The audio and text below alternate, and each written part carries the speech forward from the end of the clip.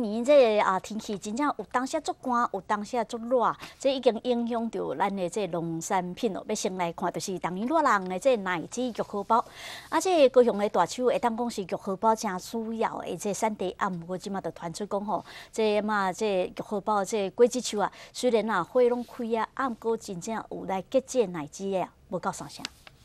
啊，我看到有啊，这都都等啊，几张啊，快有俩，弄弄弄弄弄。手机顶悬只剩零零落落还未大粒的玉荷包，原本应该结实累累的玉荷包，今年受到气候的影响，虽然花开得真多，但是留落来还未大粒的玉荷包真少，差不多无到三成。啊，都连面寒连面热啊！去年像真咧做吧，头过一个月就压一啦，啊，今年拢懵头一个月啦。农民表示，原本往年会使收入大约一百万，今年可能连三十万拢无。面对玉荷包生产期差不多要来啊，但是农民煞无来之通收。农会嘛表示，今年大树区的玉荷包产量再度减少，比去年同期大约搁减了一成半到两成左右。走果率去年大概四五成，啊，今年预计它大大概是三成左右。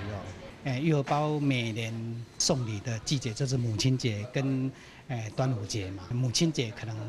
吃不到玉荷包了。目前已经会使确定，母亲节送礼期间，民众是食袂到大树的玉荷包了。产量期大约会出现伫个端午节过后，到时产地介绍可能会上看每公斤两百块。记者